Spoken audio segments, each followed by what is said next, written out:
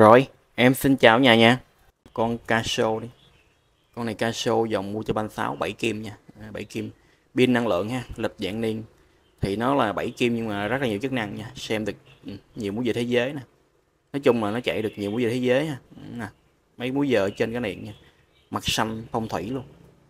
Cọc số có dạ quang nha. Mấy dòng Casio dạ quang sáng này. Thì anh em muốn trải nghiệm cách chỉnh giờ mấy dòng này cứ báo em. Dạ quang sáng này đồng hồ chỉ nè chức năng nè thứ nè. À, giờ đếm ngược nè giờ thể thao giờ đếm ngược nè. Xem múa giờ thế giới là báo thức nè nhiều chức năng lắm.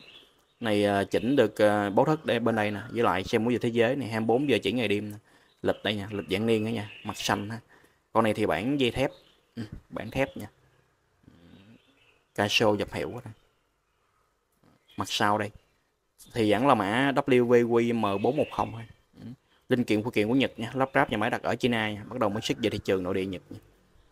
con này thì dây uh, con này dây 18 18 đeo thoải mái vẫy dư được hai ngón lên tay. Kiểu nó ngầu nha kiểu anh em thích đeo đồng hồ to ngầu xíu chốt cái này đúng ha. Ừ. Thì cách chỉnh giờ thì em có hướng dẫn trên YouTube vậy. Anh em nào muốn trải nghiệm cách chỉnh giờ cứ báo em em bấm giờ điểm ngược cho nó có giờ điểm ngược nha. Ừ, bấm qua đây chữ TR đi nè.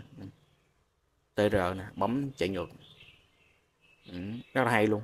Dùng mình uống cà phê pháo à, đeo lên đó, để gì á để chạy bình thường. Thì giờ vẫn chạy bình thường thôi chỉ có là dây chạy ngược thôi rất là độc luôn ha. Ừ. Rồi bấm ngưng cái nè reset. Nhiều chức năng lắm. Này bạn coi múi giờ thế giới nè.